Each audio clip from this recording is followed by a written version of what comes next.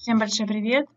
И в этом коротком видео я бы хотела с вами, наверное, поделиться а, каким-то, опять же, своим опытом. В последнее время я мало что делаю, мало активничаю. Вот. А, и, и, и просто интересная мысль пришла в голову.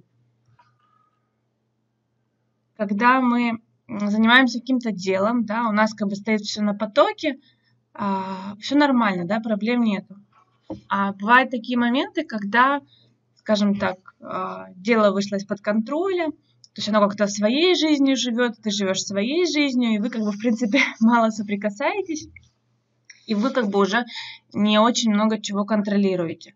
И так случилось у меня, да, то есть когда затяжная какая-то депрессия, не депрессия, стресс, не стресс, а, слава богу, фриланс а, вот, стоковый, да, позволяет а в некотором смысле отойти, да, то есть упасть в депрессию, да, то есть в обычной работе такой возможности нету, а на стоках такая возможность есть, то есть отойти от дел, отойти от активной работы и просто, а, скажем так, стоки живут своей жизнью, а вы живете своей жизнью. У меня это длилось два года. И когда возвращаетесь, да, вот я сейчас, допустим, возвращаюсь, я хочу у меня появились какие-то силы, у меня появилась какая-то трезвость мышления, то есть, да, как-то я изменилась, и теперь я учусь жить, э, скажем так, по-новому, да, исходя из моего нового какого-то мировоззрения. И момент в том, что когда вы возвращаетесь в такое дело, не знаете, за что хвататься. И у меня тоже так случилось, то есть да, у меня портфолио не на одну тематику, у меня много тематик, у меня много разных стилей, у меня много направлений.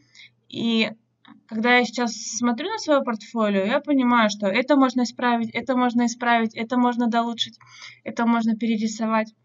И начинаешь, знаешь, э, за все хвататься одновременно. И есть такой момент, что все равно, э, это знаете, как в реабилитационный период, все равно нет еще таких сил, все равно еще нет таких возможностей, да, там, таких мощностей. И когда а, ты видишь, что надо что-то доделать, надо подправить, надо исправить, надо там переделать, да, то есть ты видишь недостатки. И параллельно ты понимаешь, что у тебя сейчас нет такой возможности исправить все одним махом. И лично я для себя выбрала какую-то такую линию восстановления. Я для себя выбрала одну какую-то тематику, да, одну тему, точнее, одну тему, вплоть до одного стиля, и именно его я сейчас пытаюсь рисовать.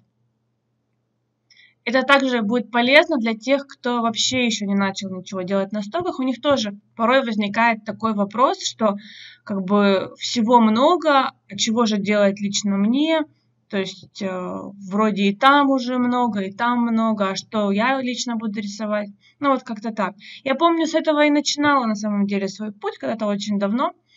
А, я тоже выбрала одну тематику, один стиль, и прям очень-очень много работ рисовала именно одним каким-то стилем. А потом уже начинала расширяться в разные стили.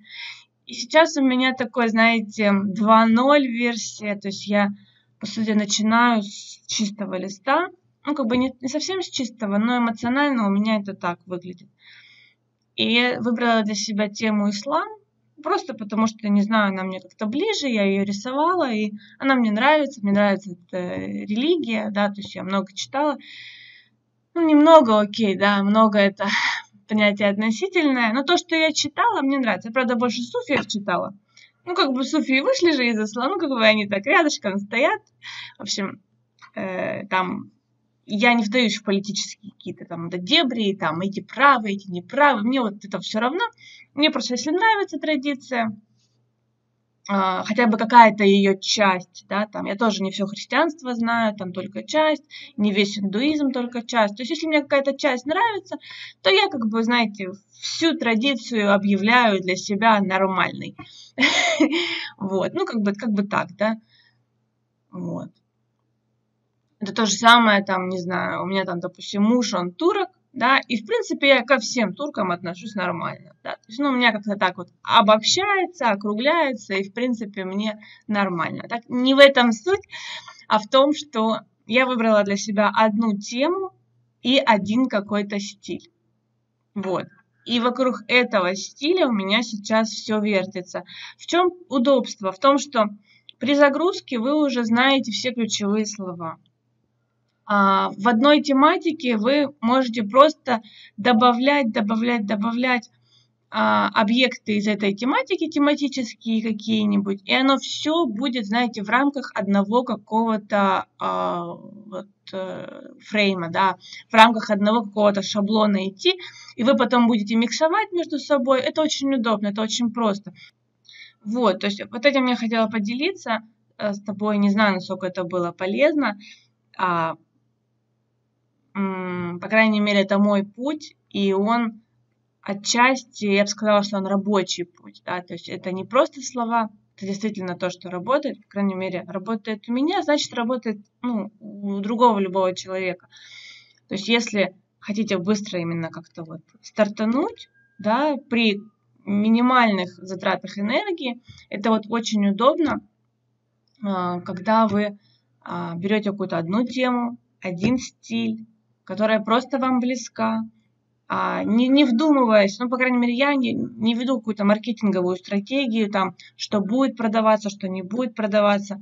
Я просто исхожу из того, что я это рисую, я это создаю, и чем я лучше буду это создавать, тем просто будет красивше, мои навыки будут расти, и рано или поздно это начнет продаваться.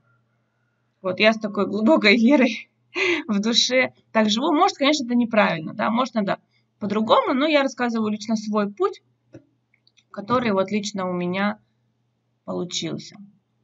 Вот, я надеюсь, это видео было хоть чуть-чуть полезным и интересным. Обязательно пишите в комментариях, какой путь проходили вы, то есть на что вы опирались в своем начале, на рисовать разные тематики, разными стилями, да, забивать все ниши, или как бы именно что-то вот свое такое, единственное, единственную какую-то тематику выбрать и работать именно в ней, да, то есть тоже интересно.